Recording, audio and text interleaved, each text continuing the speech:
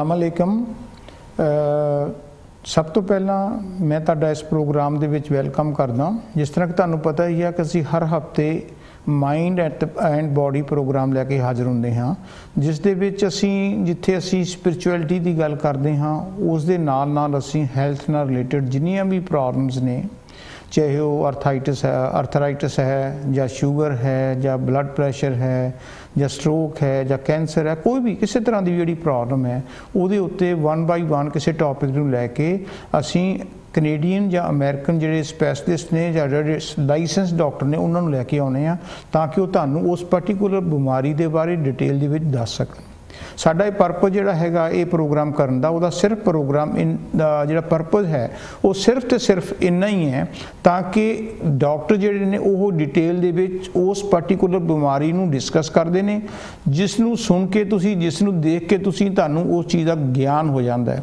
ਇਹ ਨਹੀਂ ਹੈ ਕਿ ਤੁਸੀਂ ਜਿਹੜੀਆਂ ਸੁਣੀਆਂ ਸੁਣਾਈਆਂ ਗੱਲਾਂ ਜਿਹੜੀਆਂ ਸਾਡੀ ਸੁਸਾਇਟੀ ਦੇ ਵਿੱਚ ਪ੍ਰਚਲਿਤ ਹੁੰਦੀਆਂ ਨੇ, ਉਹਨਾਂ ਨੂੰ ਤੁਸੀਂ ਬੇਸ ਬਣਾ ਕੇ ਕੋਈ ਇਲਾਜ ਕਰੋ ਤਾਂ ਕਈ ਵਾਰੀ ਉਹਦਾ ਨੁਕਸਾਨ ਵੀ ਹੋ ਜਾਂਦਾ ਹੈ।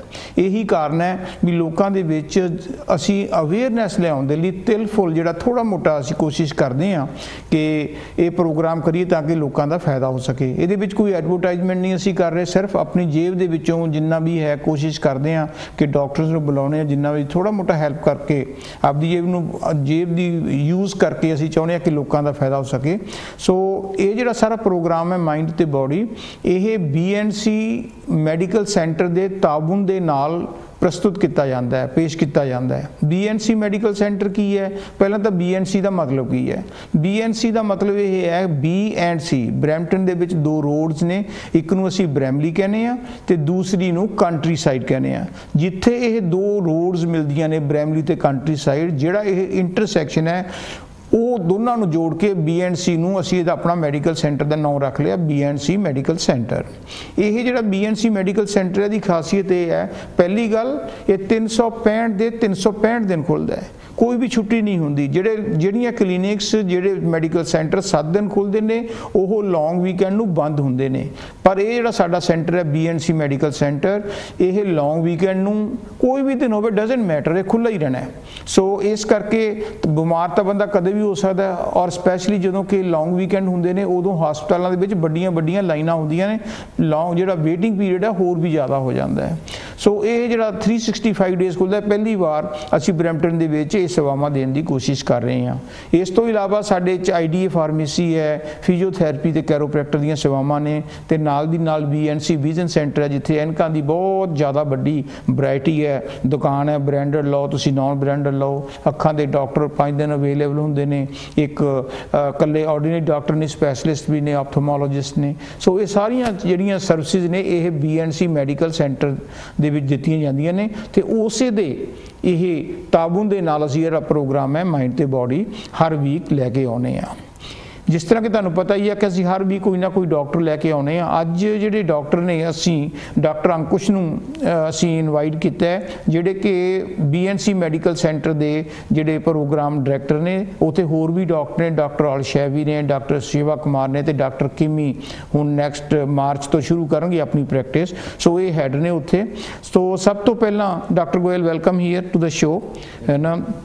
ਤੇ ਦੂਸਰੀ ਅਸੀਂ ਆਰਥਰਾਈਟਿਸ ਦੇ ਉੱਤੇ ਗੱਲ ਕਰਨੀ ਚਾਹੁੰਦੇ ਆ ਆਰਥਰਾਈਟਿਸ ਪੰਜਾਬੀ 'ਚ ਪਤਾ ਨਹੀਂ ਲੋਕ ਵੱਖ-ਵੱਖ ਤਰੀਕੇ ਦੇ ਵੱਖ-ਵੱਖ ਨਾਂ ਦਿੰਦੇ ਨੇ। ਕਈਆਂ ਨੂੰ ਗਠੀਆ ਕਈ ਜਾਂਦੇ ਨੇ ਕੀ ਕਹਿੰਦੇ ਨੇ ਜੋੜਾਂ ਦਾ ਦਰਦ ਹੈ, ਕੁਛ ਹੈ। ਮਤਲਬ ਹੁਣ ਇਹ ਤਾਂ ਤੁਸੀਂ ਸਾਨੂੰ ਡਿਟੇਲ 'ਚ ਦੱਸੋਗੇ।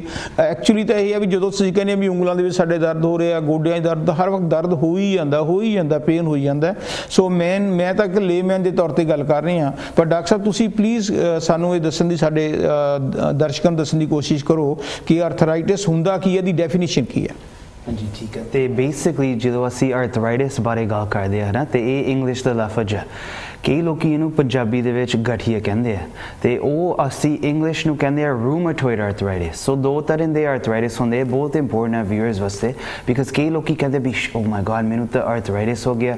ਤੇ ਉਹਨਾਂ ਦੀ ਗੱਲ ਠੀਕ ਆ ਬਿਕਾਜ਼ ਜੇ ਉਹਨਾਂ ਨੂੰ ਗਠੀਆ ਜਾਂ ਰੂਮੇਟੋਇਡ ਆਰਥਰਾਈਟਿਸ ਉਹ ਥੋੜਾ ਜਿਹਾ ਜ਼ਿਆਦਾ ਸੀਰੀਅਸ ਆ। ਇਟਸ ਨਥਿੰਗ ਡੇਂਜਰਸ ਡੇਂਜਰਸ ਵੀ ਨਹੀਂ ਹੈਗਾ, ਪਰ ਉਹਦੇ ਦਵਾਈਆਂ ਤੇਜ਼ ਹੁੰਦੀਆਂ। It's a little bit less common ਉਹ ਘੱਟ ਕਾਮਨ ਆ। ਉਹ ਆਟੋ ਇਮਿਊਨ ਡਿਜ਼ੀਜ਼ ਆ, ਜਿਹੜਾ ਰੂਮੇਟੋਇਡ ਆਰਥਰਾਈਟਿਸ ਹੈ ਜਿਹੜਾ ਗਠੀਆ ਲੋਕੀ ਕਹਿੰਦੇ ਆ। ਤੇ ਉਹਦਾ ਮਤਲਬ ਤੁਹਾਡੇ ਜਿਹੜੇ ਬਾਡੀ ਦੇ ਇਮਿਊਨ ਸੈਲਸ ਆ, ਉਹ ਜਾ ਕੇ ਅਟੈਕ ਕਰਦੇ ਆ ਆਪਣੇ ਜੋੜਾਂ ਦੇ ਵਿੱਚ ਜੁਆਇੰਟਸ ਦੇ ਵਿੱਚ।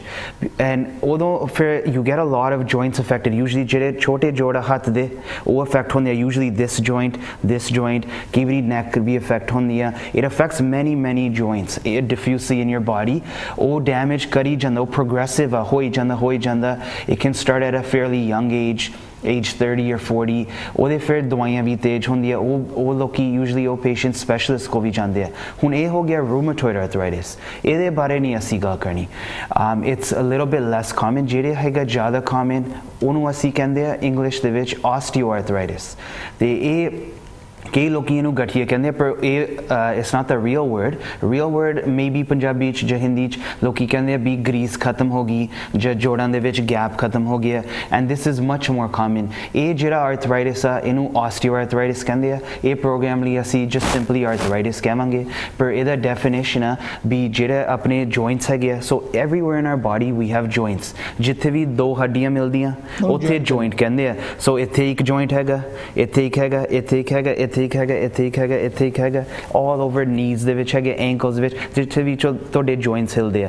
ਤੇ ਜਦੋਂ ਇੱਥੇ ਡੈਮੇਜ ਥੋੜੀ ਹੋ ਜਾਂਦੀ ਹੈ ਜੇ ਸਪੇਸ ਘਟ ਜਾਂਦਾ, ਜੇ ਗਰੀਸ ਘਟ ਜਾਂਦੀ ਹੈ ਜਿਹੜੇ ਸਪੇਸ ਦੇ ਵਿੱਚ ਗਰੀਸ ਹੁੰਦੀ ਹੈ ਉਹਨੂੰ ਫਿਰ ਅਸੀਂ ਆਰਥਰਾਈਟਿਸ ਕਹਿੰਦੇ ਆ। ਉਹਦਾ ਮਤਲਬ ਆ ਇਨਫਲੇਮੇਸ਼ਨ ਅਤੇ ਹੋਈ ਵੀ ਇੱਕ ਸਪੇਸ ਘਟਿਆ ਹੋਇਆ, ਤੇ ਉਹਦੇ ਨਾਲ ਹੀ ਸਿੰਪਟਮਸ ਵੀ ਸ਼ੁਰੂ ਹੁੰਦੇ ਆ।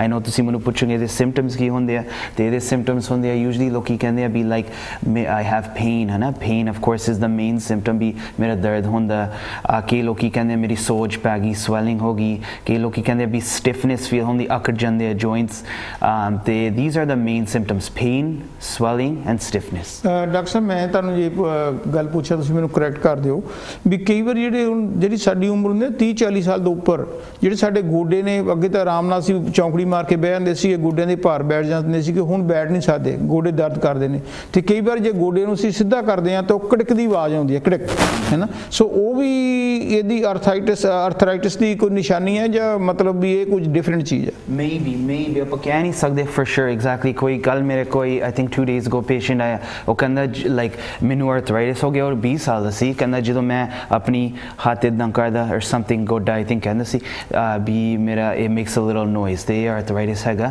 ਪ੍ਰੋਬਬਲੀ ਨਾਟ ਸੋ ਯੂਜੂਲੀ ਆਪਣੇ ਜੁਆਇੰਟਸ ਦੇ ਵਿੱਚ ਕਈ ਲੋਕਾਂ ਸਪੈਸ਼ਲੀ ਜਿਹੜੇ ਬਾਰੀ ਬਾਰੀ ਕ੍ਰੈਕ ਕਰਦੇ ਆ I release some gas but it doesn't mean ਵੀ ਇਹ ਜੁਆਇੰਟ ਦੇ ਵਿੱਚ ਡੈਮੇਜ ਪਿਆ ਜਾਂ ਗਰੀਸ ਘਟਿਆ। ਸੋ ਆਪਾਂ ਇਦਾਂ ਨਹੀਂ ਕਹਿ ਸਕਦੇ, ਜੇ ਤੁਹਾਡਾ ਜੁਆਇੰਟ ਦੇ ਵਿੱਚ ਆਵਾਜ਼ ਬੰਦੀ ਹੈ, ਵੀ ਤੁਹਾਨੂੰ ਆਰਥਰਾਈਟਿਸ ਹੈਗਾ, ਇਹਦੇ ਹੋਰ ਡਾਇਗਨੋਸਿਸ ਦਾ ਤਰੀਕਾ ਹੈਗਾ। ਅੱਛਾ ਨਾਲ ਨਾਲ ਗੱਲ ਇਹ ਹੁੰਦੀ ਵੀ ਕਈ ਵਾਰੀ ਜਦੋਂ ਅਸੀਂ ਦੇਖਦੇ ਆਂ ਵੀ ਜਦੋਂ ਤੁਸੀਂ ਜਿਮ ਤੇ ਜਾਂਦੇ ਆ ਕਈ ਵਾਰੀ ਦੇਖਦੇ ਆਂ ਜਦੋਂ ਅਸੀਂ ਉਂਗਲਾਂ ਨੇ ਸਾਨੂੰ ਜਿਹੜੇ ਉਂਗਲਾਂ ਦੇ ਜਿਹੜੇ ਜੋੜ ਨੇ ਬਿਲਕੁਲ ਜੁਆਇੰਟਸ ਦੀ ਗੱਲ ਕਰ ਰਹੇ ਹਾਂ ਕਿਉਂਕਿ ਜਿਹੜੇ ਜੁਆਇੰਟਸ ਦੇ ਵਿੱਚ ਉਹ ਲੱਗਦੇ ਨੇ ਵੀ ਭਾਰੇ ਜੇ ਹੋ ਗਏ ਦਰਦ ਜਿਹਾ ਹੋ ਰਿਹਾ ਮੂਲੀ ਜਾਂ ਤੇ ਜਾਂ ਜਦੋਂ ਅਸੀਂ ਉਂਗਲ ਖਿੱਚ ਕੇ ਪੜਾਕਾ ਪਾਉਣ ਦੀ ਕੋਸ਼ਿਸ਼ ਕਰ ਰਹੇ ਆ ਅੱਗੇ ਬਚਪਨ ਚ ਪੈ ਜਾਂਦੇ ਸੀਗੇ ਹੁਣ ਪੜਾਕੇ ਨਹੀਂ ਪੈਂਦੇ। ਸੋ ਇਹ ਵੀ ਕੋਈ ਮਤਲਬ ਨਿਸ਼ਾਨੀ ਹੈਗੀ ਜਾਂ ਮੇਬੀ ਸੋ ਰਿਮੈਂਬਰ ਜਿੱਦਾਂ ਓਕੇ ਹੁਣ ਆਪਣੇ ਜੁਆਇੰਟਸ ਹੈਗੇ ਇੱਥੇ ਹੱਡੀਆਂ ਵੀ ਹੈਗੀਆਂ ਇੱਥੇ ਮਸਲਸ ਵੀ ਹੈਗੇ ਇੱਥੇ ਟੈਂਡਨਸ ਵੀ ਹੈਗੇ ਸੋ ਡਸਨਟ ਮੀਨ ਜੇ ਮੇਰੇ ਹੁਣ ਬਾਹ ਦੁਖਦੀ ਹੈ, ਜੇ ਮੇਰਾ ਤੁਸੀਂ ਕਹਿ ਲਓ ਗੋਡਾ ਦੁਖਦਾ ਜਿੱਦਾਂ ਤੁਸੀਂ ਕਿ ਹੱਥ ਦੁਖਦਾ ਮੇਰਾ ਹੱਥ ਦੁਖੀ ਗਿਆ ਦੁਖੀ ਗਿਆ it doesn't mean be definitely ਮੈਨੂੰ ਆਰਥਰਾਈਟਿਸ ਹੋਊਗਾ ਯੂਜੂਲੀ ਤਾਂ ਮੋਸਟ ਕਾਮਨਲੀ ਇਹ ਮਸਲ ਦੀ ਪ੍ਰੋਬਲਮ ਹੁੰਦੀ ਹੈ ਸੋ ਜੇ ਤੁਹਾਡਾ ਹੱਥ ਦੁਖਦਾ ਜਿਮ ਤੇ ਪ੍ਰੋਬਬਲੀ ਤੁਹਾਡੇ ਮਸਲ ਦੇ ਵਿੱਚ ਸੋਚ ਪਈ ਵੀ ਹੈ ਐਂਡ ਜੇ ਯੂਜੂਲੀ ਤਾਂ ਲੋਕਾਂ ਨੂੰ ਪਤਾ ਹੀ ਹੈ ਐਡਵਲ ਲੈਂਦੇ ਆ ਠਾਣਾ ਲੈਂਦੇ ਆ, ਠੀਕ ਹੋ ਜਾਂਦਾ, ਜੇ ਟਾਈਮ ਦੇ ਨਾਲ ਠੀਕ ਹੋ ਜਾਂਦਾ, that means it was muscle ਜਿਹੜੀ ਆਰਥਰਾਈਟਿਸ ਦੀ ਪੇਨ ਹੈ ਉਹ ਨਹੀਂ ਠੀਕ ਹੁੰਦੀ ਦਵਾਈ ਦੇ ਨਾਲ। ਹਾਂ, ਉਹ ਟੈਂਪਰੇਰੀਲੀ ਠੀਕ ਹੋ ਸਕਦੀ ਹੈ ਪਰ ਉਹ ਕ੍ਰੋਨਿਕ ਡਿਜ਼ੀਜ਼ ਹੈ ਉਹ ਪੇਨ ਮੇਬੀ ਟੈਂਪਰੇਰੀ ਠੀਕ ਹੋ ਜਾਊਗੀ ਪਰ ਸਟਿਲ ਪੇਨ ਹੋ ਹੀ ਜਾਊਗੀ ਤੁਹਾਨੂੰ ਫਿਰ 'ਚ ਜੇ ਹੁਣ ਕੋਈ ਪਤਾ ਨਹੀਂ ਲੱਗਦਾ ਹੁਣ ਜੇ. ਬੰਦਾ ਪੇਸ਼ੈਂਟ ਆ ਕੇ ਕਹਿੰਦਾ ਵੀ ਜੇ ਤੁਹਾਨੂੰ ਜੇ ਅਸੀਂ ਵੀ ਕੋਆਰਡੀਨੇਟਰ ਬੰਦੇ ਕਹਿੰਦੇ ਮੇਰਾ ਗੋਡੇ 'ਚ ਦਰਦ ਹੋਈ ਜਾਂਦਾ ਉਂਗਲਾਂ ਦੁਖੀ ਜਾਂਦੀਆਂ ਤੇ ਗਰਦਨ ਜੇ ਦੁਖੀ ਜਾਂਦੀ ਹੈ ਪਿੱਛੋਂ ਫਿਰ ਮਤਲਬ ਇਹ ਕੀ ਪਤਾ ਲੱਗੂ ਤੁਸੀਂ ਡਾਇਗਨੋਸ ਕਿਵੇਂ ਕਰੋਗੇ ਵੀ ਆਰਥਰਾਈਟਿਸ ਹੈਗਾ ਕਿ ਨਹੀਂ ਹੈਗਾ ਜਾਂ ਕੋਈ ਹੋਰ ਪ੍ਰੋਬਲਮ ਹੈ ਇਹੀ ਗੱਲ ਆ ਯਾ ਇਦਾਂ ਕਿਦਾਂ ਡਾਇਗਨੋਸ ਕਰੀਏ ਸੋ ਯੂਜੂਲੀ ਲਾਈਕ ਤੁਹਾਨੂੰ ਪਤਾ ਹੀ ਆ ਜੇ ਤੁਹਾਡਾ ਗੋਡਾ ਦੁਖਿਆ ਤੁਸੀਂ ਜਿਮ ਚ ਭੱਜੇ ਜੇ ਉਦਾਂ ਦੁਖਣ ਲੱਗ ਗਿਆ ਮੋਸਟ ਪੀਪਲ ਨੋ ਹਨਾ ਵੀ ਮੈਂ ਥੋੜੀ ਟਾਉਨ ਲੈ ਲਵਾਂ ਐਡਵਿਲ ਲੈ ਲੂੰਗਾ ਮੈਂ ਰੈਸਟ ਕਰ ਲੂੰਗਾ ਉਹ ਯੂਜੂਲੀ ਉਹ ਠੀਕ ਹੋ ਜਾਂਦੀ ਹੈ। ਜੇ ਉਹ ਪੇਨ ਤੁਹਾਡੀ ਠੀਕ ਹੋ ਗਈ ਫਿਊ ਵੀਕਸ ਦੇ ਵਿੱਚ ਫਿਊ ਡੇਜ਼ ਦੇ ਵਿੱਚ, ਫਿਰ ਇਹ ਆਰਥਰਾਈਟਿਸ ਦੀ ਪੇਨ ਨਹੀਂ ਸੀ। ਜਿਹੜੀ ਆਰਥਰਾਈਟਿਸ ਦੀ ਪੇਨ ਹੈ, ਜੇ ਮੈਂ ਤੁਹਾਨੂੰ ਕਿਹਾ ਵੀ ਇਹ ਗਰੀਸ ਘਟੀ ਵੀ ਹੈ, ਇਹ ਗਰੀਸ ਹੁਣ ਵਾਪਸ ਨਹੀਂ ਆ ਸਕਦੀ। ਹੁਣ ਮੈਂ ਬਾਅਦ ਚ ਵੀ ਦੱਸੂਗਾ ਤੁਹਾਨੂੰ ਇਹ ਕਿੱਦਾਂ ਲਿਆ ਸਕਦੇ ਆਪਾਂ ਵਾਪਸ, ਪਰ ਯੂਜੂਲੀ ਇਹ ਆਪਣੇ ਆਪ ਵਾਪਸ ਨਹੀਂ ਆਂਦੀ ਤੁਸੀਂ ਐਡਵਿਲ ਵੀ ਲਓਗੇ ਠਾਣਾ ਲਓਗੇ, ਉਹ ਪੇਨ ਵਾਪਸ ਆਉਂਗੀ ਤੁਹਾਡੀ। ਸੋ ਯੂਜੂਲੀ ਪੇਸ਼ੈਂਟਸ ਕਹਿੰਦੇ ਆ ਵੀ ਮੇਰੀ ਕਾਫੀ ਦੇਰ ਦੀ ਪੇਨ ਹੋ ਰਹੀ ਹੈ। ਤੇ ਉਹ ਕਹਿੰਦੇ ਜੁਆਇੰਟ ਦੇ ਵਿੱਚ ਹੋ ਰਹੀ ਹੈ ਐਂਡ ਦੈਨ ਅਸੀਂ ਇਹਨੂੰ ਡਾਇਗਨੋਸ ਕਰਨ ਲਈ ਐਕਸ-ਰੇ ਕਰਦੇ ਆ so there is no blood test for this type of arthritis ਹੁਣ usually maybe someone is watching. ਉਹ ਕਹੋਗੇ ਵੀ ਮੇਰੇ ਡਾਕਟਰ ਨੇ ਤਾਂ ਕਿਹਾ ਅਸੀਂ ਵੀ ਬਲੱਡ ਟੈਸਟ ਕਰਨਾ ਆਰਥਰਾਈਟਿਸ ਵਾਸਤੇ ਯਾਦ ਰੱਖੋ ਦੋ ਤਰ੍ਹਾਂ ਦੇ ਆਰਥਰਾਈਟਿਸ ਆ ਇੱਕ ਗਠੀਆ ਹੋ ਗਿਆ ਰੂਮੇਟੋਇਡ ਆਰਥਰਾਈਟਿਸ ਉਹ ਡਿਫਰੈਂਟ ਗੱਲ ਆ ਹਾਂ ਉਹਦੇ ਲਈ ਇੱਕ ਬਲੱਡ ਟੈਸਟ ਹੈਗਾ ਉਹਦੇ ਲਈ ਕਈ ਬਲੱਡ ਟੈਸਟ ਹੈਗੇ ਆ, ਉਹਦੇ ਲਈ ਵੀ ਅਸੀਂ ਸਪੈਸ਼ਲਿਸਟ ਕੋ ਵੀ ਭੇਜਦੇ ਪਰ ਆਪਾਂ ਦੂਜੀ ਆਰਥਰਾਈਟਿਸ ਬਾਰੇ ਗੱਲ ਕਰ ਰਹੇ ਆਸਟੀਓਆਰਥਰਾਈਟਿਸ ਜਿਹੜਾ ਬਹੁਤ ਕਾਮਨ ਆ ਜਿਹਦਾ ਗਰੀਸ ਘਟ ਜਾਂਦਾ ਤੇ ਉਹਦੇ ਲਈ ਆਪਾਂ ਜਿੱਦਾਂ ਮੇਰੇ ਨੀਜ਼ ਦੇ ਵਿੱਚ ਗਰੀਸ ਘਟ ਗਿਆ ਹੁਣ ਆਰਥਰਾ ਜੇ ਮੈਂ ਐਕਸ-ਰੇ ਕੀਤਾ ਪਿਕਚਰ ਲਈ ਉਹਦੇ ਦੇਖੂੰਗਾ ਵੀ ਸਪੇਸ ਘਟੀ ਵੀ ਹੈ ਤੇ ਹੋਰ ਵੀ ਚੇਂजेस ਹੁੰਦੇ ਆ। ਸੋ ਡਾਇਗਨੋਸਿਸ ਵਾਸਤੇ ਐਕਸ-ਰੇ ਓਕੇ ਪਰ ਬਲੱਡ ਨਹੀਂ ਹੈ ਬਲੱਡ ਨਾ blood test. ਜਿਹੜਾ ਰੈਗੂਲਰ ਆਰਥਰਾਈਟਿਸ ਯਾ ਨਾ ਬਲੱਡ ਟੈਸਟ ਕਈ ਵਾਰੀ ਕਈ ਸ- ਅਹ ਕਈ ਅਮ, ਅਸੀਂ ਡਿਜ਼ੀਜ਼ ਬਾਰੇ ਗੱਲ ਕਰਦੇ ਆ ਉਹ ਕਲੀਨਿਕਲੀ ਪਤਾ ਲੱਗ ਜਾਂਦੇ ਆ ਮਤਲਬ ਗੱਲਬਾਤ ਕਰਨ ਤੋਂ। ਇਹ ਗੱਲਬਾਤ ਕਰਨ ਤੋਂ ਸ਼ੱਕ ਪੈ ਜਾਂਦਾ ਤੇ ਐਕਸ-ਰੇ ਦੇ ਨਾਲ ਅਸਲੀ ਪਤਾ ਲੱਗ ਜਾਂਦਾ। ਪਰ ਤੁਹਾਡੀ ਗੱਲ ਤੋਂ ਗੱਲ ਤਾਂ ਮੈਨੂੰ ਜਿਸ ਤੱਕ ਮੈਂ ਅੰਡਰਸਟੈਂਡ ਕੀਤਾ ਉਹ ਇਹ ਕੀਤਾ ਵੀ ਜਿਹੜੀ ਆਰਥਰਾਈਟਿਸ ਹੈ। ਇਹਦਾ ਮਤਲਬ ਇਹ ਨਹੀਂ ਵੀ ਜੇ ਅਸੀਂ ਫਿਰ ਕੋਈ ਜਿਮ ਤੇ ਗਏ ਜਾਂ ਕੋਈ ਭਾਰਾ ਕੰਮ ਕਰ ਲਿਆ ਜਾਂ ਫੈਕਟਰੀ ਜੌਬ ਕਰਦੇ ਕੁਝ ਕਰ ਲਿਆ ਸਾਡੀ ਪੇਨ ਜੁਆਇੰਟਸ ਤੇ ਸ਼ੁਰੂ ਹੋ ਗਈ ਉਹਦੇ ਲਈ ਤੁਸੀਂ ਟੈਲੈਂਟ ਲੈ ਲਓ। ਪਰ ਜੇ ਲਗਾਤਾਰ ਕੁਝ ਹਫ਼ਤੇ ਲਗਾਤਾਰ ਪੇਨ ਰਹਿੰਦੀ ਹੈ ਫਿਰ ਡਾਕਟਰ ਕੋਲ ਜਾਓ।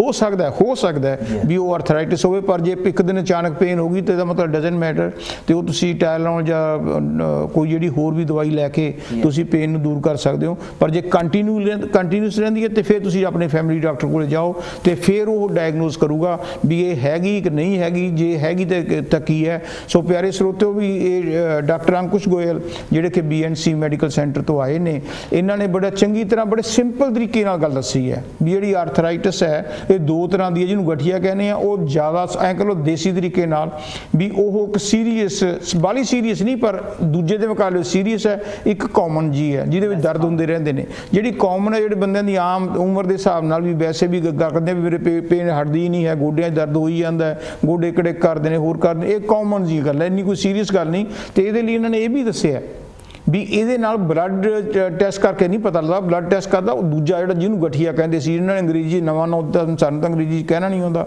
ਸੋ ਉਹ ਜਿਹੜੀ ਸੀਰੀਅਸ ਗੱਲ ਆ, ਉਹਦੇ ਲਈ ਬਲੱਡ ਟੈਸਟ ਹੋਣਗੇ ਹੋਰ ਵੀ ਕਈ ਤਰ੍ਹਾਂ ਦੇ ਬਲੱਡ ਟੈਸਟ ਨੇ, ਪਰ ਜਿਹੜਾ ਸਧਾਰਨ ਆਰਥਰਾਈਟਿਸ ਹੈ, ਉਹਦੇ ਲਈ ਇਹ ਐਕਸ-ਰੇ ਤੋਂ ਪਤਾ ਲੱਗਦਾ ਐਕਸ-ਰੇ ਲੈ ਕੇ ਪਤਾ ਲੱਗ ਸਕਦਾ ਵੀ ਇਹ ਹੈਗਾ ਕਿ ਨਹੀਂ ਹੈਗਾ। ਸੋ ਇਸੇ ਟੌਪਿਕ ਨੂੰ ਅਸੀਂ ਹੋਰ ਵੀ ਡਿਟੇਲ 'ਚ ਡਿਸਕਸ ਕਰਾਂਗੇ, ਤੇ ਡਾਕਟਰ ਅੰਕੋ ਸਾਡੇ ਨਾਲ ਹੀ ਨੇ, ਸੋ ਥੋੜਾ ਜਿਹਾ ਅਸੀਂ ਬ੍ਰੇਕ ਲੈ ਲਈਏ don't go away just stay with us thank you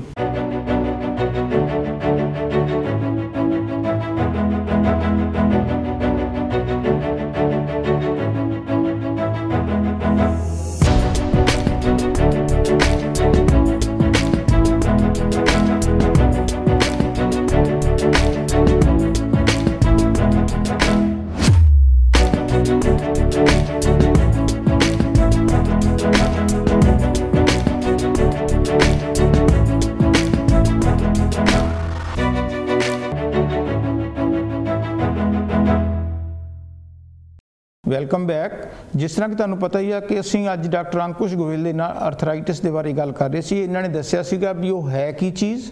ਫਿਰ ਉਹ ਦੱਸਿਆ ਜੀ ਕਿੰਨੇ ਕਿਸਮ ਦਾ ਹੁੰਦਾ ਹੈ।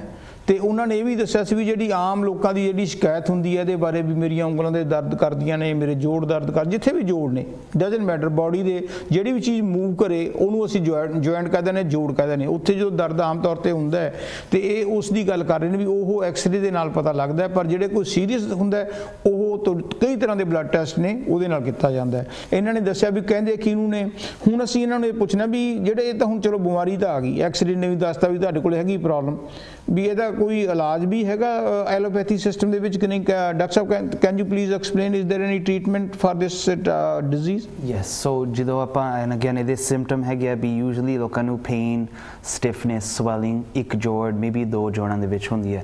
ਹੁਣ ਇਹਦੇ ਰਿਸਕ ਫੈਕਟਰਸ ਵੀ ਆਪਾਂ ਯੂਜੂਲੀ ਆਪਾਂ ਰਿਸਕ ਫੈਕਟਰਸ ਨਹੀਂ ਗੱਲ ਕਰਦੇ but I think it's very important ਕਿਉਂਕਿ ਜਦੋਂ ਆਪਾਂ ਟ੍ਰੀਟਮੈਂਟ ਬਾਰੇ ਗੱਲ ਕਰਾਂਗੇ ਟ੍ਰੀਟਮੈਂਟ ਤਾਂ ਜਦੋਂ ਤੁਹਾਨੂੰ ਸ਼ੁਰੂ ਹੋ ਗਿਆ, ਉਹਦਾ ਟ੍ਰੀਟਮੈਂਟ ਦੋ ਚੀਜ਼ਾਂ, ਤਿੰਨ ਚੀਜ਼ਾਂ ਹੀ ਹੈਗੀਆਂ।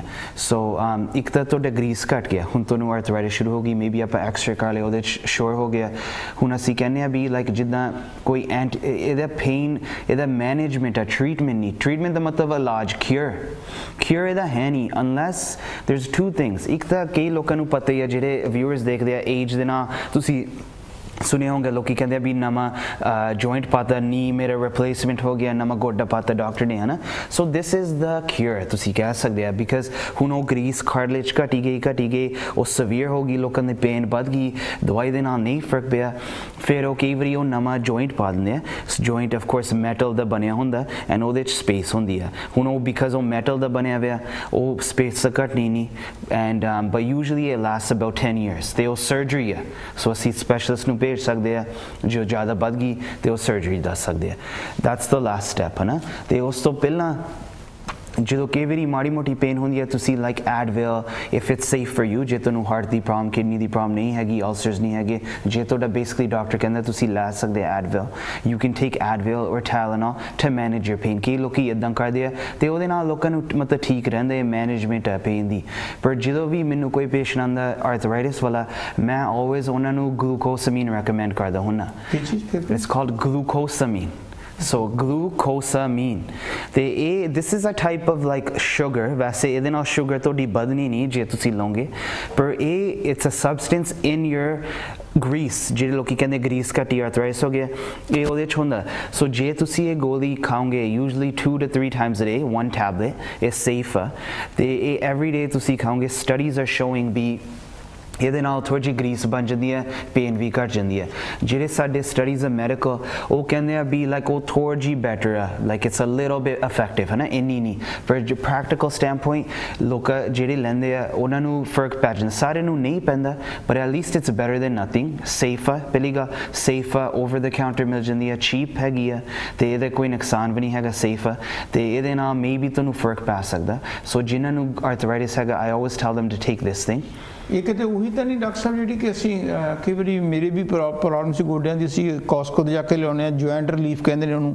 ਉਹ ਦੋ ਤਰ੍ਹਾਂ ਦੀ ਪਹਿਲਾਂ ਪਹਿਲਾਂ ਤਾਂ ਸੀ ਗੋਲੀਆਂ ਜਿਹਨੂੰ ਟੈਬਲੇਟਸ ਕਹਿ ਸਕਦੇ ਆ ਜਾਂ ਕੈਪਸੂਲ ਉਹ ਹੁੰਦੇ ਸੀਗੇ। ਤੇ ਹੁਣ ਉਹਨਾਂ ਨੇ ਕਿਹਾ ਵੀ ਫਾਸਟ ਰਿਲੀਫ ਰਿਲੀਫ ਦੇ ਲਈ ਤੁਸੀਂ ਲਿਕੁਇਡ ਲੈ ਲਓ ਉਹਦੇ ਲਿਖਦਾ ਜੁਆਇੰਟ ਰਿਲੀਫ ਲਿਕੁਇਡ ਤੇ ਉਹ ਕੋਈ ਡਰਾਮੇਬਾਜ਼ੀ ਆ ਕਿ ਵਾਕਈ ਉਹਦੇ ਨਾਲ ਕੁਝ ਸਾਨੂੰ ਮਤਲਬ ਇਹਦਾ ਹੋ ਸਕਦਾ ਫਾਇਦਾ? ਯਾ ਸਟੱਡੀਜ਼ ਜਿਹੜੇ ਮੈਡੀਕਲ ਸਟੱਡੀਜ਼ ਉਹ ਕਹਿੰਦੇ ਵੀ ਥੋੜਾ ਜਿਹਾ ਫਾਇਦਾ ਹੈਗਾ। ਸੋ ਉਹ ਕਹਿੰਦੇ ਥੋੜਾ ਜਿਹਾ ਮੈਨੂੰ ਲੱਗਦਾ ਜ਼ਿਆਦਾ ਹੈਗਾ ਫਰਮ ਪ੍ਰੈਕਟੀਕਲ ਸੋ ਡੈਫੀਨਿਟਲੀ ਕੋਈ ਨੁਕਸਾਨ ਨਹੀਂ I always tell people to take glucosamine ਤੇ ਬਾਕੀ ਟ੍ਰੀਟਮੈਂਟ ਹੈਗਾ, ਜਿੱਦਾਂ ਮੈਂ ਤੁਹਾਨੂੰ ਕਿਹਾ ਤਾਂ Tylenol or Advil to help with the pain ਇੱਕ ਹੈਗਾ ਅਲਟੀਮੇਟਲੀ ਸਰਜਰੀ ਕਿ ਲੋਕਾਂ ਨੂੰ ਸਰਜਰੀ ਦੀ ਲੋੜ ਹੈ ਉਸ ਤੋਂ ਪਹਿਲਾਂ ਤੁਸੀਂ ਗਲੂਕੋਸਾਮੀਨ ਖਾ ਸਕਦੇ ਆ। And you should take it at least for like 2-3 months ਹੈ ਨਾ 2-3 ਮੰਥਸ 2-3 ਮਹੀਨੇ ਲਗਾਤਾਰ ਤੁਹਾਨੂੰ ਲੈਣਾ ਚਾਹੀਦਾ ਪਹਿਲਾਂ ਬਿਫੋਰ ਯੂ ਡਿਸਾਈਡ ਵੀ ਇਹਦੇ ਨਾਲ ਕਈ ਲੋਕਾਂ ਨੂੰ ਨਹੀਂ ਫਾਇਦਾ ਹੁੰਦਾ ਦੈਟਸ ਟਰੂ ਪਰ ਕਈਆਂ ਨੂੰ ਹੋ ਸਕਦਾ। ਦੈਨ treatment also ਜਿਹੜਾ ਲੋਕਾਂ ਨੂੰ ਜ਼ਿਆਦਾ arthritis ਹੁੰਦਾ is usually because of weight. Because ਜ਼ਿਆਦਾ arthritis ਗੋਡਿਆਂ 'ਚ ਹੁੰਦਾ ਤੇ ਉਹ if you have a lot of weight and if you're carrying all this ਹਾਂ fat ਤੇ ਉਹਦੇ ਨਾਲ you can imagine ਉੱਥੇ it's like carrying an extra weight of backpack ਉੱਥੇ ਫਿਰ ਜ਼ਿਆਦਾ ਜੋੜਾਂ ਨੂੰ ਅਸਰ ਪੈਂਦਾ so if you can lose weight even before ਜੇ ਹੋਣ ਤੋਂ ਪਹਿਲਾਂ ਤੁਸੀਂ exercise ਤੇ diet ਕਰ ਸਕਦੇ ਆ keep a healthy weight ਉਹਦੇ ਨਾਲ ਤੁਹਾਨੂੰ ਹੋਣਾ ਨਹੀਂ chances ਘੱਟ ਆ ਪਰ ਜੇ ਤੁਹਾਨੂੰ ਹੋ ਵੀ ਗਿਆ ਤੇ ਤੁਸੀਂ ਪਾਰ ਘਟਾ ਸਕਦੇ ਆ। ਉਹਦੇ ਨਾਲ ਫਿਰ ਥੋੜਾ ਜਿਹਾ ਤੁਹਾਨੂੰ ਪੇਨ ਵੀ ਫ਼ਰਕ ਪਾਉਂਗਾ। ਇਹ will prevent it from getting worse ਵੀ ਵਧਣਾ ਨਹੀਂ। ਪਰ ਮੈਂ ਡਾਕਟਰ ਸਾਹਿਬ ਤੁਹਾਡੇ ਸਾਹਮਣੇ ਗੱਲ ਦੱਸ ਰਿਹਾ। ਮੈਂ ਤੁਹਾਡੇ ਸਾਹਮਣੇ ਬੈਠਾ। ਮੈਨੂੰ ਯਾਦ ਹੈ ਕਿ ਅੱਜ ਤੋਂ 2-3 ਸਾਲ ਪਹਿਲਾਂ ਮੇਰਾ ਵੀ weight ਆਫ ਕੋਰਸ ਜ਼ਿਆਦਾ ਸੀਗਾ ਹੈਨਾ ਤੇ ਉਹਦੇ ਨਾਲ ਕੀ ਸੀਗਾ ਕਿ ਜਦੋਂ ਮੈਂ ਜਿਮ ਦੇ ਉੱਤੇ ਤੁਰਦਾ ਹੁੰਦਾ ਸੀ ਮੈਨੂੰ ਕਈ ਵਾਰੀ ਪਿੱਛੋਂ ਕਹਿੰਦੇ ਵੀ ਤੁਸੀਂ ਲੰਗ ਮਾਰਦੇ ਹੋ ਪੰਜਾਬੀ ਚ ਹੁੰਦਾ ਵੀ ਸਿੱਧਾ ਸਟ੍ਰੇਟ ਨਹੀਂ ਚੱਲਦੇ ਲੰਗ ਇੱਕ ਗੋਡਾ ਉੱਪਰ ਨੂੰ ਕਿਤੇ ਟੇਢਾ ਜਾਂ ਹੋਰ ਹੋ ਗਿਆ। ਤੇ ਫਿਰ ਜਦੋਂ ਫਿਰ ਮੇਰੇ ਫੈਮਿਲੀ ਡਾਕਟਰ ਨੇ ਮੈਨੂੰ ਦੱਸਿਆ ਤੇ ਇੱਕ ਮੇਰੀ ਸ਼ੂਗਰ ਹੋ ਗਈ ਸੀ ਫਿਰ ਮੈਂ ਆਪਣਾ ਭਾਰ ਘਟਾਇਆ। ਘੱਟੋ ਘੱਟ ਮੈਂ ਜ਼ਿਆਦਾ ਅਬਾਊਟ ਰਾਉਂਡ ਅਬਾਊਟ 30 ਪਾਉਂਡ ਭਾਰ ਘਟਾ ਲਿਆ। ਕਈ ਤਾਂ ਲੋਕ ਕਹਿੰਦੇ ਸੀ ਮੈਂ ਹੁਣ ਮਰਨ ਦੀ ਤਿਆਰੀ ਹੈ ਪਰ ਇਹ ਨਹੀਂ ਪਰ ਮੈਂ ਇਹ ਮਹਿਸੂਸ ਕੀਤਾ ਕਿ ਜਦੋਂ ਮੇਰਾ ਭਾਰ ਘਟਿਆ ਤਾਂ ਮੇਰੇ ਗੋਡੇ ਜਿਹੜਾ ਲੰਘ ਵਜਦਾ ਸੀ ਨਾ ਉਹ ਘਟ ਗਿਆ। ਤੇ ਨਾਲੇ ਮੇਰੀ ਸ਼ੂਗਰ ਕੰਟਰੋਲ ਹੋ ਗਈ। ਸੋ ਇਹਦਾ ਮਤਲਬ ਇਹਦੇ ਨਾਲ ਜਿਹੜਾ ਭਾਰ ਹੈ ਇਹ ਇਟਸ ਅ ਬਿਗ ਪ੍ਰੋਬਲਮ ਕਿਉਂਕਿ ਜਿਹੜੀ ਵੱਡੀ ਸਾਰੀ ਥੈਲੀ ਜੀ ਅਸੀਂ ਨਾਲ ਲਈ ਫਿਰਦੇ ਆ ਨਾ ਪੇਟ ਦੇ ਵਧਾ ਕੇ। ਮੈਂ ਤਾਂ ਖੁਦ ਲੈਂਦਾ ਸੀ ਮੈਂ ਕਿਸੇ ਨੂੰ ਕ੍ਰਿਟਿਸਾਈਜ਼ ਨਹੀਂ ਕਰਦਾ। ਜਦੋਂ ਉਹ ਟਮੀ ਜਿਹਨੂੰ ਕਹਿੰਦੇ ਆਪਣਾ ਪੇਟ ਵਧਿਆ ਹੋਇਆ ਜਿਹੜਾ ਵਿਦਆਊਟ ਮੀਨਿੰਗ ਲੇਡੀ ਤਾਂ ਚਲੋ ਵੱਧ ਗਿਆ ਕਿਸੇ ਪਾਰਟਿਕੂਲਰ ਕਾਰਨ ਕਰਕੇ ਹੁੰਦਾ, ਉਹ ਫੇਰ ਠੀਕ ਹੋ ਜਾਂਦਾ ਪਰ ਅਸੀਂ ਇਵੇਂ ਹਰ ਵਕਤ ਭਾਰ ਚੱਕੀ ਰੱਖਦੇ ਆ ਸੋ ਉਹ ਜਿਹੜਾ ਭਾਰ ਹੈ, ਜਿੰਨਾ ਜ਼ਿਆਦਾ ਉਹ ਤੇ ਗੋਡਿਆਂ ਦੇ ਪਊਗਾ ਤੇ ਨੈਚੁਰਲੀ ਉਹਦੇ ਨਾਲ ਫਿਰ ਪ੍ਰੋਬਲਮ ਹੋਊਗੀ। ਜੇ ਭਾਰ ਘਟ ਜੇ ਤੇ ਗੋਡਿਆਂ ਦੇ ਭਾਰ ਵੀ ਘਟ ਹੋਊਗਾ। ਸੋ ਇਹ ਤੁਹਾਡੀ ਗੱਲ ਮੈਂ ਐਗਰੀ ਕਰਦਾ। ਮੈਨੂੰ ਕਰਨਾ ਹੀ ਪੈਣਾ ਕਿਉਂਕਿ ਤੁਸੀਂ ਤਾਂ ਪ੍ਰੋਫੈਸ਼ਨਲ ਹੋ। ਤੇ ਦੂਸਰੀ ਗੱਲ, ਕਈ ਵਾਰੀ ਮੈਂ ਦੇਖਿਆ ਵੀ ਉਹ ਕਹਿੰਦੇ ਨੇ ਜੀ, ਉਹ ਸਰਜੀ ਸੂਰਜੀ ਕਰਾਉਣ ਦੀ ਲੋੜ ਨਹੀਂ, ਤੁਸੀਂ ਨੀ ਕੈਪ ਪਾ ਲਓ। ਵੀ ਨੀ ਕੈਪ ਪਾ ਕੇ ਵੀ ਜਿਹੜਾ ਰਾਤ ਨੂੰ ਹਰ ਵਕਤ ਦਰਦ ਹੁੰਦਾ ਰਹਿੰਦਾ, ਉਹ ਵੀ ਰਿਲੀਫ ਮਿਲ ਜਾਂਦਾ ਵੀ ਉਹ ਟੈਂਪਰੇਰੀ ਰਿਲੀਫ ਹੈ ਕਿ ਉਹਦੇ ਨਾਲ ਪੱਕਾ ਵੀ ਹੋ ਸਕਦਾ ਉਹ ਮੋਸਟਲੀ ਟੈਂਪਰੇਰੀ ਹੈ। ਸੋ ਜੇ ਤੁਹਾਡੀ ਥੋੜੀ ਜੀ ਮੇਬੀ ਕੀ ਲੋਕਾਂ ਨੂੰ ਆਰਥਰਾਈਟਿਸ ਹੈਗਾ ਪਰ ਕਈ ਵਾਰੀ ਉਹ ਥੋੜਾ ਜਿਹਾ ਪੇਨ or something? ਜਾਂ ਨੀ ਕੈਪ ਦੇ ਨਾਲ ਫ਼ਰਕ ਪੈਂਦਾ ਪਰ ਉਹ ਜਿਹੜਾ ਅਗੇਨ ਜਿਹੜਾ ਗਰੀਸ ਘਟਿਆ ਉਹਨੂੰ ਨਹੀਂ ਉਹਨੇ ਚੀਜ਼ ਨੂੰ ਪਰ ਮੇਬੀ ਉਹਨੂੰ ਟੈਂਪਰੇਰੀ ਰਿਲੀਫ ਦੇ ਸਕਦਾ ਪਰ ਜੇ ਤੁਸੀਂ ਪਾਰ ਘਟਾਓਗੇ ਹਾਂ ਉਹਨੇ ਸੇਮ ਥਿੰਗ ਉਹਨੇ ਵਧਾਣਾ ਨਹੀਂ ਗਰੀਸ ਨੂੰ ਜੇ ਤੁਸੀਂ ਪਾਰ ਘਟਾਓਗੇ ਪਰ ਉੱਥੇ ਮੇਬੀ ਰੁਕ ਸਕਦਾ ਥਿੰਕ ਅਬਾਊਟ ਇਟ ਜੇ ਮੈਂ ਹੁਣ ਫੋਰ ਐਗਜ਼ਾਮਪਲ ਆਰਮੀ ਵਾਲੇ ਲੋਕੀ ਉਹ ਹੈਵੀ ਬੈਕਪੈਕ ਕੈਰੀ ਕਰਦੇ ਉਹ ਭੱਜੀ ਜਾਂਦੇ ਉਹਦੇ ਨਾਲ ਉਹੀ ਲੋਕੀ ਜਿਹੜੇ ਜ਼ਿਆਦਾ ਭਾਰ ਵਧੇ ਹੋਏ ਇਟਸ ਦ ਸੇਮ ਥਿੰਗ ਉਹ ਪਰ ਬੈਕਪੈਕ ਨਹੀਂ ਫੜੇ ਹੋਏ ਉੱਥੇ ਮੂਰੇ ਫੜੇ ਹੋਏ right in there fat so ਇਹ ਹਰ ਵਕਤ ਆਪਾਂ ਉਹਦੇ ਨਾਲ ਤੁਰੀ ਜਾਈਏ ਉਹ ਜਾ ਕੇ ਗਰੀਸ ਘਟੂਗੀ ਉਹ ਜੋੜਾਂ ਨੂੰ ਇੰਪੈਕਟ ਪਾਉਂਗਾ ਪ੍ਰੈਸ਼ਰ ਦੇ ਨਾਲ ਸੋ ਜੇ ਤੁਸੀਂ weight loss ਕਰ ਸਕਦੇ ਉਹ ਬੈਸਟ ਚੀਜ਼ ਹੈ also kneecap, Tylenol, Advil, ice, heat, ਉਹ ਇੱਕ ਲੋਕੀ ਮੂਵ ਲਾਉਂਦੇ ਆ ਵੋਲਟੇਰਨ ਜੈਲ ਜਿਹੜੇ ਉੱਤੇ ਲਾਉਣ ਵਾਲੀਆਂ ਜੈਲਾਂ ਹਾਂ ਇਹ ਟੈਂਪਰੇਰੀ ਚੀਜ਼ਾਂ ਹੈਗੀਆਂ ਪਰ ਜਿਹੜਾ ਅਸਲੀ ਟ੍ਰੀਟਮੈਂਟ ਆ ਇੱਕ ਤਾਂ ਗਲੂਕੋਸਮੀਨ ਹੋ ਗਿਆ ਇੱਕ ਡੈਫੀਨਿਟਲੀ ਤੁਹਾਨੂੰ ਭਾਰ ਘਟਾਉਣਾ ਚਾਹੀਦਾ ਇੱਕ ਆਲਸੋ ਤੁਹਾਨੂੰ you should strengthen your muscles ਜਿਹੜੇ ਤੁਹਾਡੇ ਮਸਲਸ ਆ ਸੋ ਨੀ ਦੇ or like any joint sorry ਆਪਾਂ ਹੁਣ ਨੀ ਬਾਰੇ ਜ਼ਿਆਦਾ ਗੱਲ ਕਰਨ ਲੱਗੇ because that's the most common but ਜੇ ਤੁਸੀਂ ਆਪਣੇ muscles ਨੂੰ ਥੋੜੇ ਜਿਹਾ strong ਕਰ ਸਕਦੇ ਆ ਫਿਰ then it takes pressure off your knee ਜੇ ਤੁਹਾਡੇ ਕੋਲ ਇੰਨੇ muscles strong ਨਹੀਂ ਹੈਗੇ ਤੇ ਤੁਸੀਂ like walk ਕਰੇ ਉਹ ਸਾਰਾ pressure knee ਨੂੰ ਪੈਂਦਾ ਉਹ ਫਿਰ grease ਆਪਣੇ ਆਪ ਘਟੂਗੀ ਪਰ ਜੇ ਤੁਸੀਂ ਆਪਣੇ ਜਿਹੜੇ ਨੇੜੇ muscles ਆ like ਸਾਰੇ muscles ਹੈਗੇ ਆ joint ਦੇ ਨੇੜੇ ਤੇ ਉਹ strong ਬਣੋਗੇ ਫਿਰ it will help take pressure off your knee ਫਿਰ ਵੀ ਤੁਹਾਡੀ uh, arthritis ਘਟੂਗੀ ਸੋ ਮੈਂ ਕਈ ਵਾਰੀ ਦੇਖਿਆ ਜਦੋਂ ਤੁਸੀਂ ਜਿਮ ਤੇ ਜਾਂਦੇ ਆ ਵੀ ਕਈ ਬਜ਼ੁਰਗ ਵੀ ਸਾਡੇ ਨਾਲ ਮੈਂ ਵੀ ਵੈਸੇ ਬਜ਼ੁਰਗ ਦੀ ਕੈਟਾਗਰੀ 'ਚ ਹਾਂ ਪਰ ਜਿਹੜੇ ਬਜ਼ੁਰਗ ਉੱਥੇ ਤਾਂ 80 80 90 90 ਸਾਲ ਦੇ ਵੀ ਭੱਜੇ ਫਿਰਦੇ ਨੇ।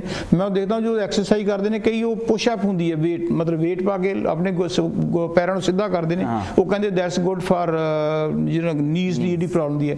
ਇਸ ਤਰ੍ਹਾਂ ਹੀ ਸਾਨੂੰ ਕ- ਉੱਥੇ ਦੱਸਿਆ ਜਾਂਦਾ ਵੀ ਤੁਸੀਂ ਜਦੋਂ ਵੀ ਚੱਲੋ ਥੋੜੀ weight ਨੂੰ ਆਪ ਇਸ ਤਰ੍ਹਾਂ ਆਪ ਕਰਿਆ ਕਰੋ ਤਾਂ ਕਿ ਜਿਹੜੀ ਉਹਦੇ ਤੁਹਾਡੇ ਮਸਲ ਬਣ ਕਹਿੰਦੇ ਜਦੋਂ ਮਸਲ ਬਣ ਜਾਣਗੇ ਤੇ ਤੁਹਾਡੀ ਉਹਦੇ ਨਾਲ ਜਿਹੜੀ ਪੇਨ ਹੈ ਦੂਸਰੇ ਜਿਹੜੇ ਜੁਆਇੰਟਸ ਦੇ ਵਿੱਚ ਪੇਨ ਘਟੂਗੀ। ਮੇਰੇ ਖਿਆਲ ਇਹ ਵੀ ਗੱਲ ਠੀਕ ਹੈ Yeah, ਜ਼ਰੂਰ like cuz every episode ਆਪਾਂ ਹਮੇਸ਼ਾ like sugar, cholesterol, all these diseases ਆਪਾਂ ਕਹਿੰਦੇ ਆ ਵੀ ਇਹਨੂੰ prevention ਲਈ ਇੱਕ ਤਾਂ ਹੈਗਾ healthy ਖਾਓ ਇੱਕ ਹੈਗਾ exercise ਕਰੋ ਜਦੋਂ ਆਪਾਂ exercise ਬਾਰੇ ਗੱਲ ਕਰਦੇ ਆ ਆਪਾਂ ਕਹਿੰਦੇ ਆ ਵੀ cardio ਕਰੋ ਵੀ ਜਿਹਦੇ ਨਾਲ ਧੜਕਣ ਵੱਧਦਾ ਪਰ ਆਪਾਂ weights ਬਾਰੇ ਨਹੀਂ ਇੰਨਾ ਗੱਲ ਕਰਦੇ ਹਾਂ ਬਾਡੀ ਬਿਲਡਰ ਸਾਰੇ ਨੂੰ ਨਹੀਂ ਬਣਨ ਦੀ ਲੋੜ ਅਹ ਇੰਨੇ ਭਾਰੇ weights ਨਹੀਂ ਚੱਕਣ ਦੀ ਲੋੜ but everybody should do a little bit of muscle strengthening cuz ਉਹਦੇ ਨਾਲ ਫਿਰ pressure ਘਟਦਾ ਜੋੜਾਂ ਦੇ pressure so yeah ਜਿੱਦਾਂ ਤੁਸੀਂ ਕਿਹਾ ਬਿਲਕੁਲ ਠੀਕ ਹੈ ਅੱਛਾ ਤੇ ਦੂਸਰੀ ਗੱਲ ਮੈਂ ਪੁੱਛਣਾ ਚਾਹੁੰਦਾ ਸੀ ਵੀ ਕਈ ਵਾਰੀ ਉੱਥੇ ਇਹ ਕਿਹਾ ਜਾਂਦਾ ਵੀ ਤੁਸੀਂ ਪਾਣੀ 'ਚ ਜਾਓ ਸਵਿਮਿੰਗ ਕਰੋ ਐਕਸਰਸਾਈਜ਼ ਕਰੋ ਪਾਣੀ ਦੀਆਂ ਵੀ ਉਹਦੇ ਨਾਲ ਵੀ ਜਿਹੜੀ ਇਹ ਜਿਹੜੀ ਪ੍ਰੋਬਲਮ ਹੈ ਆਰਥਰਾਈਟਿਸ ਦੀ ਇਹਦੇ ਵੀ ਇਹਨੂੰ ਰਿਲੀਫ ਮਿਲਦਾ ਕਿ ਅੰਦਰੋਂ ਵੀ ਮਿਲ ਸਕਦਾ ਪੱਕਾ ਹੀ ਮਿਲ ਜੂਗਾ ਕਿ ਟੈਂਪਰੇਰੀ ਹੈ ਵੀ। ਯਾ ਇਹ ਵੀ ਬਿਲਕੁਲ ਗੱਲ ਤੁਹਾਡੀ ਠੀਕ ਹੈ I didn't even think about this thing ਤੇ ਇਹ ਬਿਲਕੁਲ ਠੀਕ ਜਦੋਂ ਤੁਹਾਨੂੰ ਆਰਥਰਾਈਟਿਸ ਹੋ ਗਿਆ ਸਪੈਸ਼ਲੀ ਆਪਾਂ ਅਗੇਨ ਗੋਡਿਆਂ ਬਾਰੇ ਜ਼ਿਆਦਾ ਗੱਲ ਕਰਦੇ ਆ ਕਿਉਂਕਿ ਉਹੀ ਜ਼ਿਆਦਾ ਹੁੰਦੀ ਹੈ।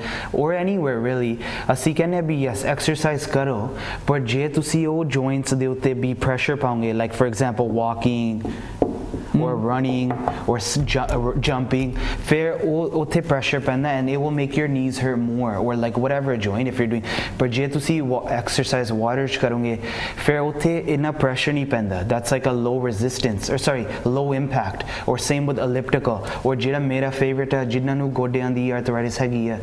I tell them jira bicycle hunda, especially jira नीमे nu bike hunda na ना दो तरह दे upright bicycle ik नीमे nu hunda. and to see maybe देखे होंगे gym दे ਜਿਹੜੇ ਲੋਕੀ 올ਡਰ ਲੋਕੀ ਚਲਾਉਂਦੇ ਆ ਉਹ ਨੀਵੇਂ ਨੂੰ ਹਨਾ? ਉਹ ਸਾਰੇ 올ਡ ਲੋਕੀ ਹੁੰਦੇ ਆ ਮੁਰੇ ਉਹ ਚਲਾਉਂਦੇ ਉਹ ਤਾਂ ਚਲਾਉਂਦੇ ਆ ਪ੍ਰੋਬਬਲੀ cuz ਉਹਨਾਂ ਦੇ ਗੋਡੇ ਦੁਖਦੇ ਆ ਤੇ ਉਹਨਾਂ ਦੇ ਡਾਕਟਰ ਜਾਂ ਫਿਜ਼ੀਓਥੈਰੇਪਿਸਟ ਨੇ ਕਿਹਾ ਵੀ ਉਹ ਬਾਈਕ ਚਲਾਓ ਉਹ ਗੋਡਿਆਂ ਲਈ ਵਧੀਆ ਉਹ ਮਸਲਸ ਨੂੰ ਸਟਰੋਂਗ ਕਰਦਾ and it doesn't put pressure on the knee so ਉਹਦੇ ਨਾਲ ਵੀ ਥੋੜੀ ਜਿਹੀ ਪੇਨ ਘਟ ਸਕਦੀ ਹੈ ਤੁਹਾਡੀ। ਪਰ ਡਾਕਟਰ ਸਾਡੀ ਜਿਹੜੀ ਜਿਹੜੀ ਹੁਣ ਸਾਡੀ ਆਪਣੀ ਇੰਡੀਅਨ ਕਮਿਊਨਿਟੀ ਹੈ ਜਾਂ ਪਾਕਿਸਤਾਨੀ ਕਮਿਊਨਿਟੀ ਹੈ ਉਹਨਾਂ ਨਾਲ ਗੱਲ ਕਰੋ ਕਹਿੰਦੇ ਜੀ ਦੇਖੋ ਇਹ ਤਾਂ ਸਾਰੀਆਂ ਗੱਲਾਂ ਠੀਕ ਨੇ ਵੀ ਐਕਸਰਸਾਈਜ਼ ਕਰੋ ਨੀ ਕੈਪ ਨਾਲ ਵੀ ਹੱਲ ਹੁੰਦੀ ਹੈ ਪਾਣੀ ਚਲੇ ਜਾਓ ਟੈਂਪਰੇਰੀ ਤੁਸੀਂ ਦੱਸਿਆ ਵੀ ਹੱਲ ਹੈ।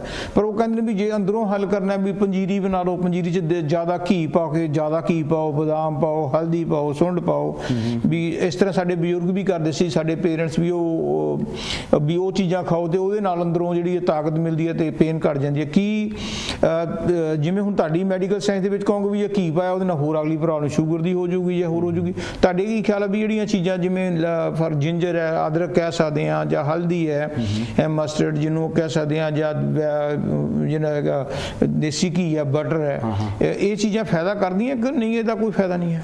ਆਈ ਥਿੰਕ ਸੋ ਜਿਹੜਾ ਤੁਸੀਂ ਕਿਹਾ ਅਦਰਕ ਲਸਣ ਜਿੰਜਰ ਹੋ ਗਿਆ ਤੇ ਤੁਸੀਂ ਹਲਦੀ ਕਿਹਾ ਉਹ ਚੀਜ਼ਾਂ ਵਧੀਆ ਯੈਸ ਉਹ ਮਤਲਬ ਘੱਟ ਹੀ ਨੁਕਸਾਨ ਕਰਦੀਆਂ ਤੇ I can't think of anything maybe ਤੁਹਾਡਾ ਪੇਟ ਉਹਦੇ ਨਾਲ ਅਪਸੈਟ ਹੋ ਸਕਦਾ ਪਰ ਅਦਰਵਾਈਜ਼ ਇਹ ਚੀਜ਼ਾਂ ਵਧੀਆ।